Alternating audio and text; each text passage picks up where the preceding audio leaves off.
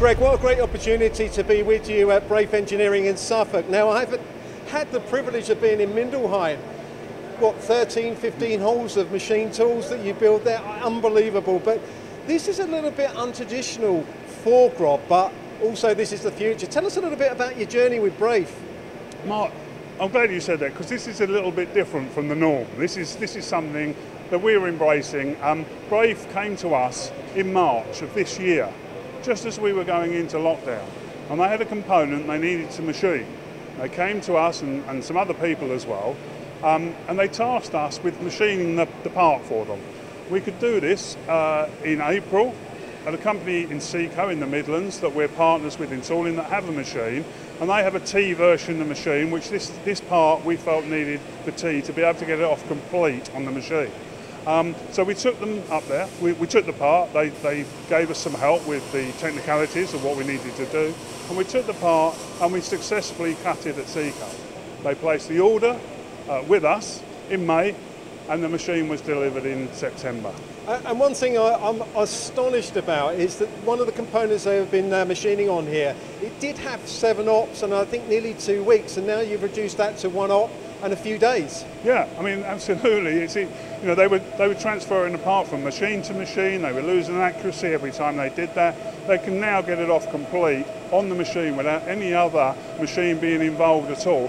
And they can take control of everything on, on the part that they need to take. There was even a subcontract uh, part on that op, on one of those ops, that they now can do in-house. So they know exactly where they are all the time. They can really control this part. And for Brave, it's, it's been good for their customer. And they can go out now to the market that they're in and you know, perhaps get more work because of this. They, uh, they can now go out with confidence. They can do it as one on one machine.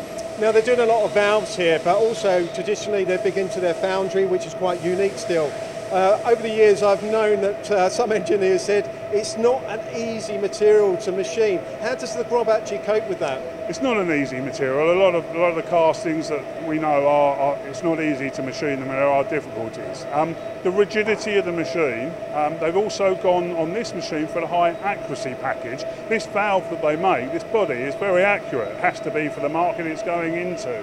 So they can, the, the machine is rigid and it can use the tooling. They get better tool life out of it because of what they can do now on this type of machine to processes they were using in the past.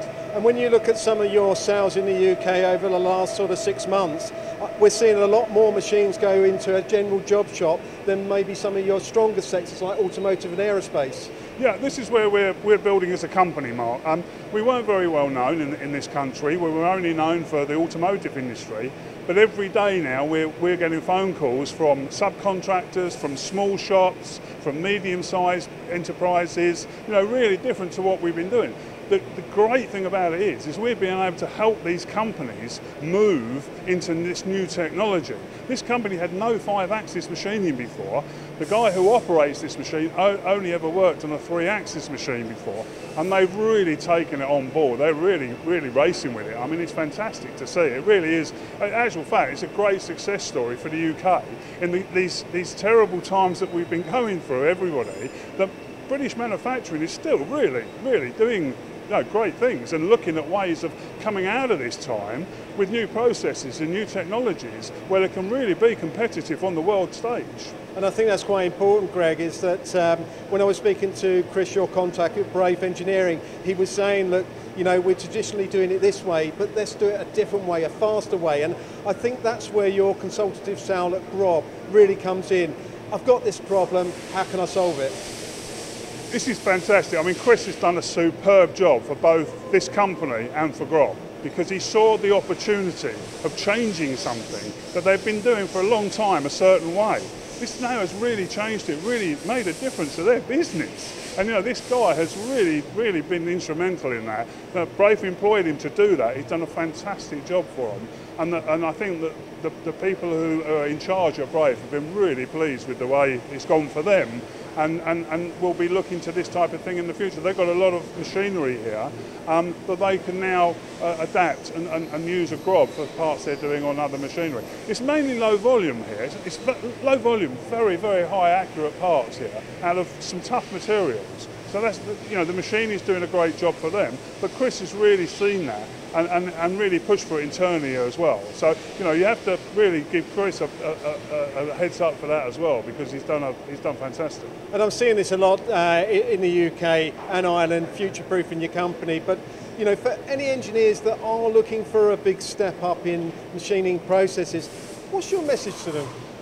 Come and try Grob. You may not have heard of us before, but we're an extremely big company with an awful lot of resources, with, with, a machine that's actually different to other people's. So we can do things that some companies just can't do on their machine. I mean, this project was put out to the market, you know, and we've, we've gained it. We took it, we embraced it right from the day one. We knew our machine was capable of doing it. We followed that through with a demo here, which we couldn't travel at that time to, to abroad to see machines, but we had that capability here to do. And we could show him, just just bring us your challenges. You know, we're not trying to force you to buy a Grob machine. We're just asking you to have a look at us, see what you think, see if it can do the same for your company as it's done for them. Well, this is a great UK manufacturing success story. I'm sure there'll be many uh, more machines sold in the UK and Ireland from Grob. Thanks, Greg. Thanks, thanks, Mark.